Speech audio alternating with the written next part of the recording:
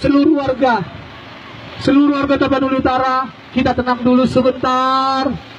Kita mari sampaikan unik-unik kita kepada legislatif kita ini. Ini gedung rakyat. Ini hasil uang kita.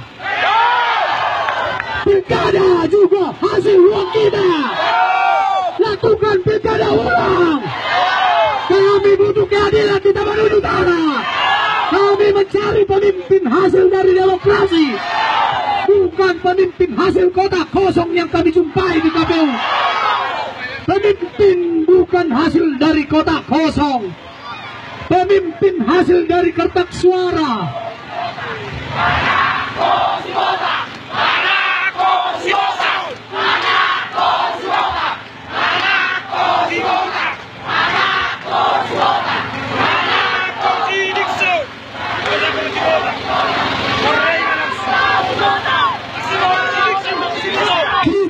Butuh kecurangan-kecurangan itu dipertentangkan.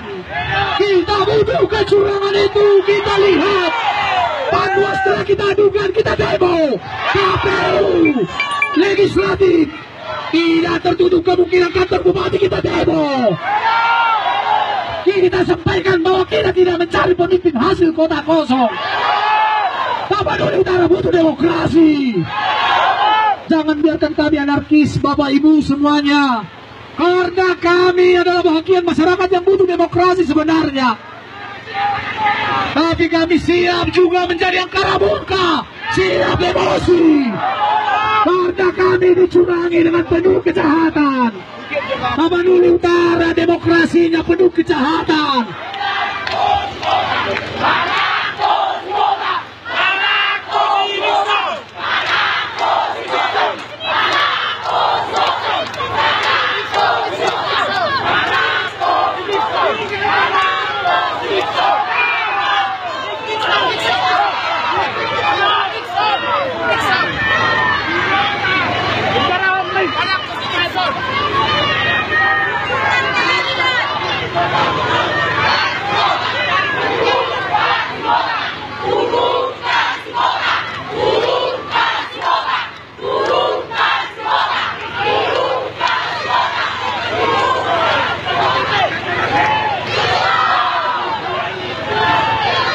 Butuh di dalam gedung DPRD ini menyampaikan aspirasi kami bahwa hasil-hasil suara kami kemarin telah hilang berganti wujud menjadi kotak kosong Bapak Legislatif DPRD kami. Ini menjadi kejahatan.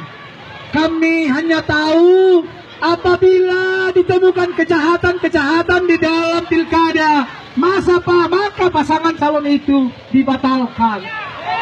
Hanya itu yang kami tahu. Kami tidak tahu. Masalah undang-undang yang lain kami tidak tahu. Karena kami tidak pernah diajari itu. Kami hanya diajari berdemokrasi. Tentukan pilihanmu yang mana.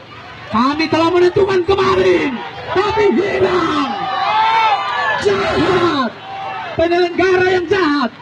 Bapak Dewan Kehormatan Penyelenggara Pe- Pemilu yang ada di Jakarta DKPP dengar suara warga Tapanuli Utara ini apa yang terjadi Bapak Bawaslu RI apa yang terjadi di Tapanuli Utara? Lihat kami masyarakat ini. Puluhan ribu menanti demokrasi. Puluhan ribu jiwa menunggu hasil yang sebenarnya. Bukan hasil kecurangan. Bukan hasil kejahatan. Bukan hasil begal-begal suara. Kami butuh demokrasi. Pemimpinnya benar. Kami tidak pernah takut kalah tapi kami tidak mau kalah karena dicurangi. Kami tidak kalah. Kita tidak kalah. Kita menang.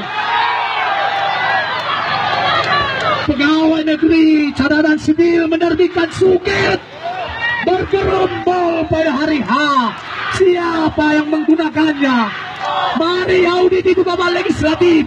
Kami telah pernah menyampaikan pesan itu terhadap Anda apa yang Anda lakukan Pak Legislatif DPRD yang terhormat satu minggu yang lalu kami telah datang menyerahkan suara di gedung ini apa hasilnya sampai sekarang Dinas Capil tidak berkutik Anda tidak ada menyurati Dinas Catatan Sipil menerbitkan KTP elektronik dan suket.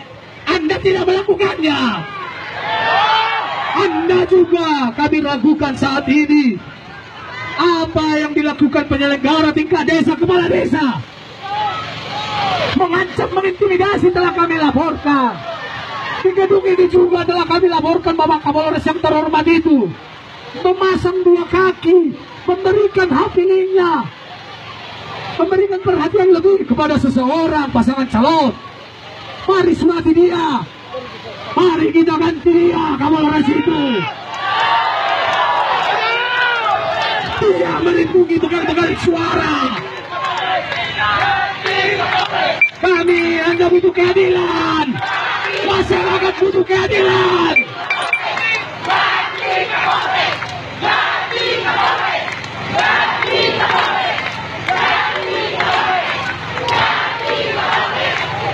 Copot semua penyelenggara-penyelenggara itu. PKPP, copot KPU. Ambil alih bawah KPU Sumut. Lakukan di Tapanuli Utara ini sesungguhnya demokrasi. Kami tidak pernah takut kalah. Tapi kami tidak mau kalah karena kecurangan. Masyarakat ini adalah petarung jalanan semuanya. Lihat mereka. Panas terik pun mereka bela jadi hak suaranya. Ini masyarakat pro demokrasi. Maka tidak makan juga hadir saat ini. Ini mereka mencari keadilan. Bapak DPRD kami, legislatif kami, berapa kali-kali, berapa kali lagi kami harus datang mengadu ke gedung ini, ke gedung yang terhormat kami ini. Anda adalah bagian dari kami. Mana Bapak Ketua DPRD? Mana Wakil Ketua? Anda makan dari keringat kami. Anda makan dari pajak-pajak warga ini semuanya. Kami bayar pajak bumi bangunan.